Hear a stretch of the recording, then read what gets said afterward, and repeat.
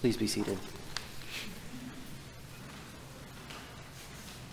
I'm going to go out on a limb here and guess that most, if not all of us, have been trained to read this story as Jesus healing a guy with a mental illness like schizophrenia or epilepsy, right? Does that sound about right? Now, it's true that in the world that would have originally heard this story, demon possession was a thing people feared. And that this story does show Jesus' power even over demonic forces, just like his power over natural forces, like the story immediately before this, where he calms the storm on the Sea of Galilee. I think it's also true that there's power in being able to hear in this story a word of hope for folks who do suffer from mental illnesses. Hope that they are not beyond God's love or beyond God's help. However, I think it is equally true that if that's all this story does, we're pretty much free to ignore it. If we're not dealing with schizophrenia or depression or bipolar disorder, the story doesn't have anything to say to us. In fact, that very act of making that connection with mental illness is a way for us to glean meaning from a story that, on its face, has nothing at all to say to a culture that, in general, does not believe in the existence of demons, to say nothing of demon possession. So here's my question What if this story is actually important? What if this story is for all of us? What if it's about something else, something more? What if this really is actually a story about demon possession? Not the exorcist kind or the, the pointy tail and pitchfork kind, but possession by those demonic forces that resist God's work in the world. As we approach this story today, of all days, on June 19th, I am especially thinking, as I read this story, about racism. I'm thinking about the systemic reality that is so deeply embedded in our cultural DNA that it's almost a part of us, that it, in some very real way, possesses us causes us to act in ways that are harmful to ourselves and the people around us. Racism is a ghost that haunts us, a specter appearing out of the woodwork to terrify and, tra- and traumatize us again and again. It's a malevolent spirit that drives our thinking and our actions almost without us realizing it. Doesn't that sound a little bit like a demon? So, as I read this story today, Juneteenth, that's what's on my mind. And I think about how on this date in 1865, one of those demons, slavery, was exorcised from our country as the last enslaved people in Texas and Louisiana were finally emancipated.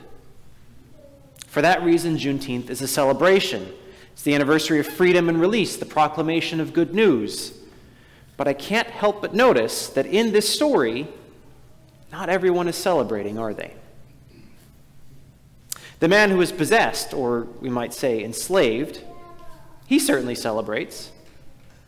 He shows his gratitude by sitting at Jesus' feet, by begging, begging to remain with him, to continue to be his disciple. And when Jesus sends him home, back to his family and his community, he goes gladly, proclaiming how much Jesus had done for him. But that's not how everyone else reacts, is it?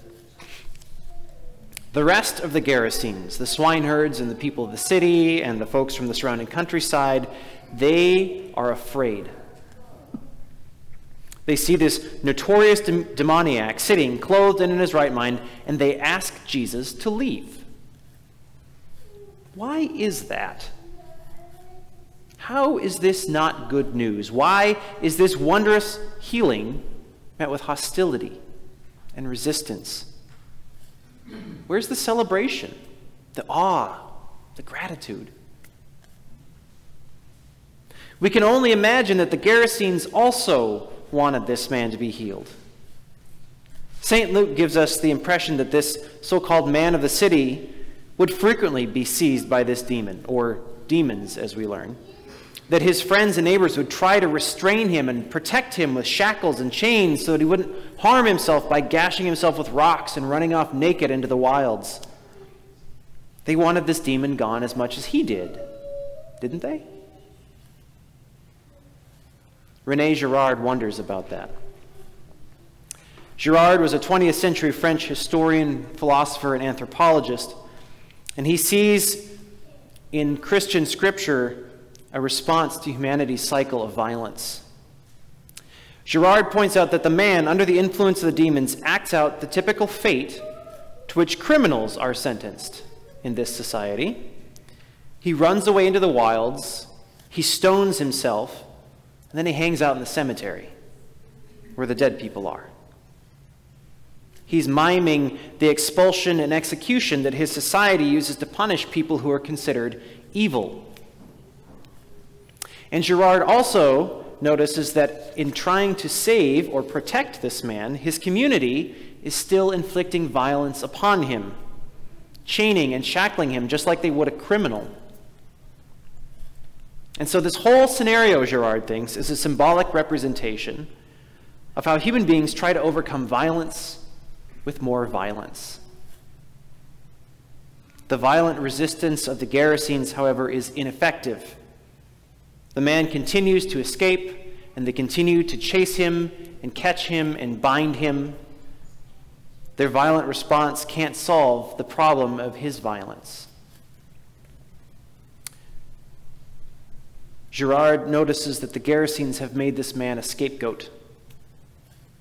Their problem, from their perspective, is this man and the demon that possesses him. Their own violence, then, is justified as a defense against this evil, to restrain this evil in one place and neutralize it. What they can't see is that their violence is no different from the violence the man commits against himself. Perhaps their problem isn't the guy with the demon. And that's where Jesus comes in. He solves this problem that the violence of the community cannot. And he does it by nonviolent means. Instead of force, he commands the demon to leave. And did you notice? He even shows the demons mercy by granting their request not to be cast into the abyss. By how he addresses and solves the situation, Jesus reveals that the Gerasene solution, violently hunting and binding the man, is both ineffective and unnecessary. He shows that their violence against this man is not a solution, but part of the problem. By healing the man, he removes their scapegoat and forces them to face the truth that even with this man healed, the problem isn't gone. The problem is not one demoniac, it's an entire violent system in which they willingly participate, in which they actively perpetuate. Jesus comes and upsets their delicate balance. And they don't like having their own guilt and their own complicity exposed, and so they ask him to leave instead of celebrating the healing and restoration of this man. Instead of a cause for celebration, this is a judgment against the Gerasenes. Just like the emancipation of African Americans was a judgment against the many people who benefited from their enslavement, from plantation owners to slave traders to textile mills to merchants. I'll bet those folks weren't celebrating on June 19, 1865 either. In fact, I bet a lot of them were pretty afraid. This exorcism is a wake up call to the folks of Gerasa to recognize the system in which they are entrenched and the need to escape it. Even as Jesus declares freedom to this formerly possessed man, he also exposes the enslavement, or we might even say the possession, of an entire society to this demonic system. There's not just one demon here, there's a whole legion. Likewise, Juneteenth is a celebration for black folks.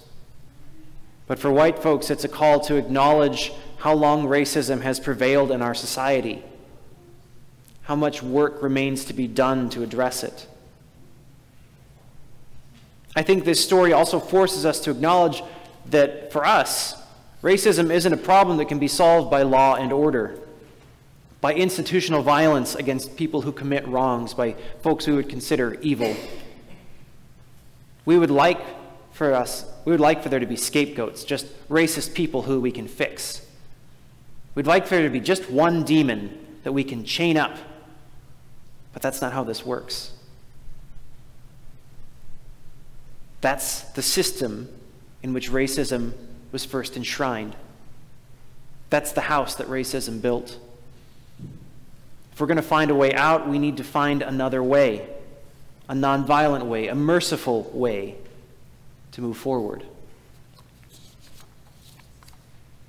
As I look at this story, I notice that the solution to the problem of the demons in Gerasa does not come from within that community.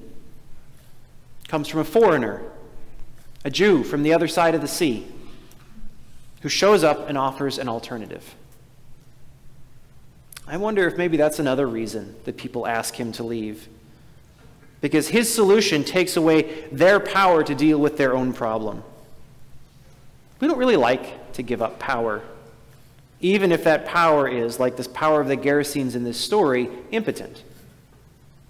It's terrifying and humiliating for these people to have to admit their powerlessness over evil, especially in front of a stranger. I wonder if maybe we too, in our fear of being powerless, might be unwilling to consider the alternative that Jesus lays before us.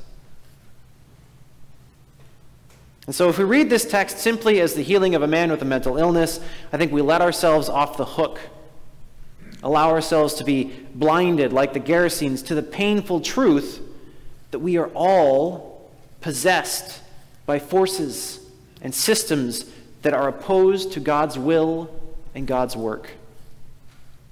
Forces that our not so naive ancestors might have called demonic. However, if we are willing to see ourselves in this text. I think it holds good news for us, for all of us, because it testifies to the truth that God is able to help us escape those forces and systems, just as Jesus does both for the man who lived among the tombs as well for his entire community. But notice how differently those two parties respond. The man rejoices in his freedom and proclaims, actively proclaims what Jesus has done for him, proclaims Jesus' nonviolent way. His compatriots, on the other hand, reject and avoid Jesus. I wonder what the difference is there. I wonder why one acts one way and the other's another. What is it that keeps the Gerasenes from experiencing that same freedom and joy as the man who'd been suffering. I wonder if this good news that Jesus brings requires us to give something up. Maybe not altogether unlike the good news of emancipation required white folks to give something up. What is it that kept those folks from celebrating with the emancipated people in 1865? What results from the resistance of both of these groups to the good news.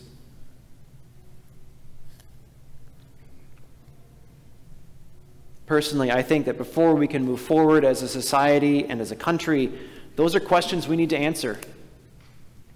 I don't have those answers, but I do believe that the answers, whatever they might be, are found in Jesus himself. That's what the man in the story sees. I wonder if maybe that might be the source of his joy I notice that separated as he was from his people and his family, he begs, what he wants most is to be with Jesus, to be one of his disciples. And it sounds like Jesus turns down that request, doesn't it? But what St. Luke actually says in Greek is that he turns him loose or sets him free to proclaim how much God has done for him.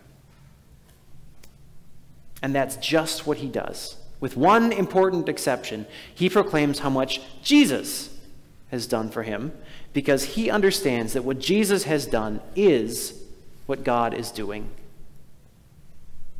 And so I think that our way forward is Jesus' way because Jesus' way is God's way.